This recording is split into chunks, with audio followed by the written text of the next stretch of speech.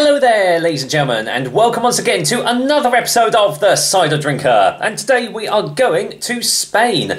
Uh, not necessarily, because I actually got this bottle when I was over in Portugal last year. Yes, we actually managed to get away on holiday despite all the stuff that was happening on last year.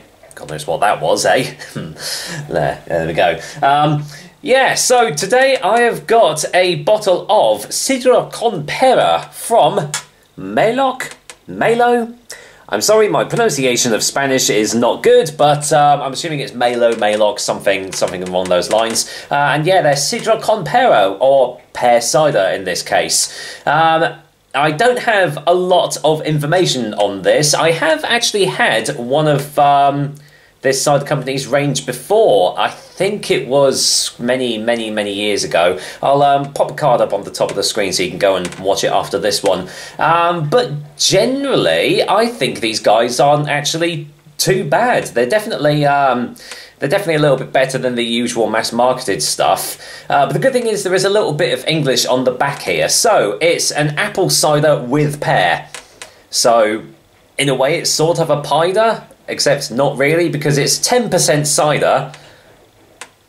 Mm. Um, oh, cider with, sorry, it's cider with 10% pear juice from concentrate. So not a real cider in this case. Um, and as you can see, it comes in these really dinky little 200 milliliter bottles. I'm sure there's going to be other ranges um, out there as well, down in the description. I'll put them there. And uh, this is a pretty average 4% ABV. Uh, so yeah, pear juice and concentrate obviously means that it's not a real cider, but that doesn't stop it from winning bronze in the International Cider Challenge Awards. So that's got something going for it. Um, now, Spoiler alert, I have had this before. Um, it was in a four pack, hence why it was coming in such small bottles, but I'm sure it's in like 500 mils and 750 or something like that um, as well. Now, the cool thing is, it doesn't have um, a normal bottle top, it has one of those ring pull things that um, I've only really ever seen on bottles of Tuborg before. It's not a common thing over in the UK. Not a lot of um, company, in fact, no companies do it as far as I'm aware. But yeah, it's really cool. So let's just get the uh, the ring pull off, and uh, I'll let you know what I make of it. There's that hiss. See it? There you go. Give it a little, give it a little pull, and off it pops. So, ooh, slight. Uh, there's a sl slight vinegary quality to this. I didn't get that last time. I don't know whether it's because it's been um, allowed to sit for quite a while, but yeah, I didn't get that off the nose before. But bearing in mind this was in uh, this was in Portugal in like you know mid thirties heat, so I don't know whether your smells and tastes change over there, but there we go. Right, so as you can see from the colour, it's uh, lightly sparkling, completely clear. As you can see, it has been filtered down. Um, yeah, light carbonation, nice light golden colour there. Little bit of um, foam resting on the top there, but as with um, every cider and perry and pear cider and everything in between, that's going to disappear relatively quickly, I would say. So, what does it smell like in the glass? Let's find out. There's the pear. Smells ex smells exactly like pear drops. Literally just pear drops with a slight um, this is going to say in the bags of pear drops that you get, there's always the yellow ones and the red ones. It smells more like the yellow ones that you could get. I don't know the difference between the two, but there was definitely a different smell and taste to them. So definitely yellow pear drops I'm getting on this. With a sweet apple overtone to it as well.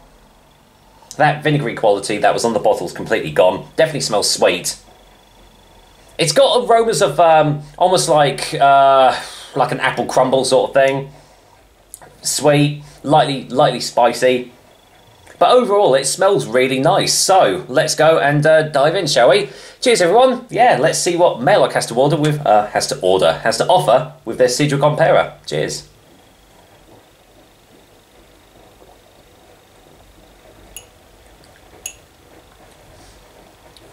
Taste is pretty much like the smell, actually. Sweet, right off the bat.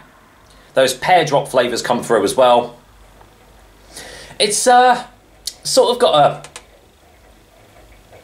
definitely a, a sweet shop candy vibe to it for sure.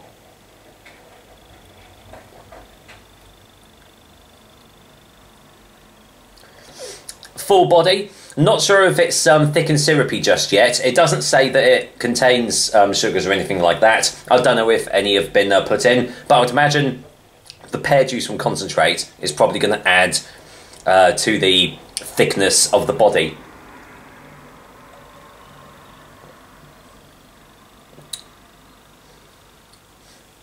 Super easy to drink. I mean, it's only 4% ABV anyway. Slight, um, I want to say slight candy floss texture. That's going to sound really weird. There's definitely a sort of a grainy texture behind it, and with the sweetness, it, it's almost akin to a like you've just bitten into candy floss or something like that. Just uh, like I don't know, like a woody quality to it. It's very strange.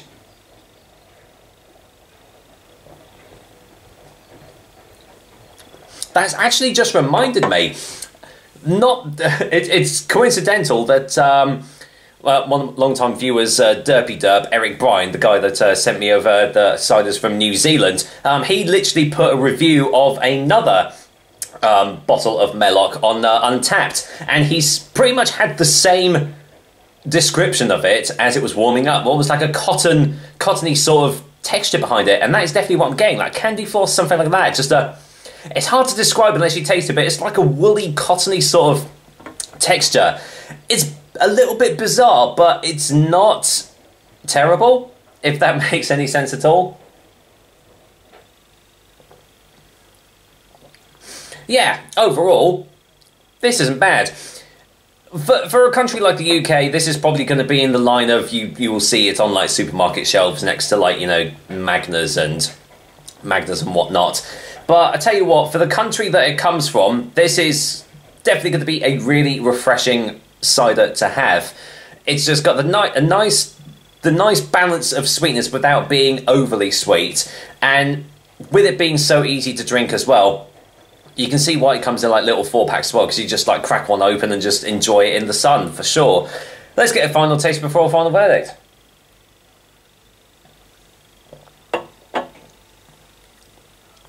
Now there is a little bit of um, little bit of clawing up at the back of the throat, probably from the pear juice from concentrate to be fair. But yeah, this bottle is definitely not going to last long at all. I mean, it was only 200 mils as well, so you're definitely not going to get absolutely blottoed off this. You'd probably have to have like eight bottles of it before you even start feeling the effects of it. So, if you are in Spain, in Portugal, or something like that, I mean, I picked this up in um, like a tiny, a, a little like corner shop just uh, not far from where we were staying.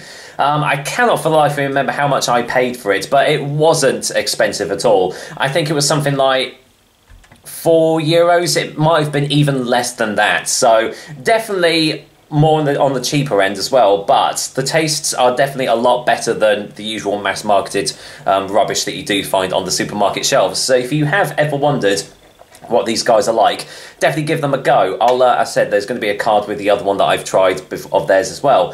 So yeah, I'm relatively impressed with Maeloc. I shall definitely have to um, find out the rest of their range if I ever go abroad. I'm sure I will, hopefully, if not this year, maybe next. With that said, for a final verdict, I'm actually going to go and give Maeloc's Sidra con Pera a 7 out of 10. Definitely uh, worth checking out. Naturally, it's not going to blow your socks off, but for a nice, easy drinking, refreshing, and nice tasting Sidra, you can't go wrong with this. And with that said, that's another episode of the Cider Drink for you guys. I hope you liked it, and as usual, I will be back with another delicious and tasty cider soon. Until then, I probably give myself about five minutes to finish off the rest of this bottle. We'll see, eh? Take care, guys. Till next time.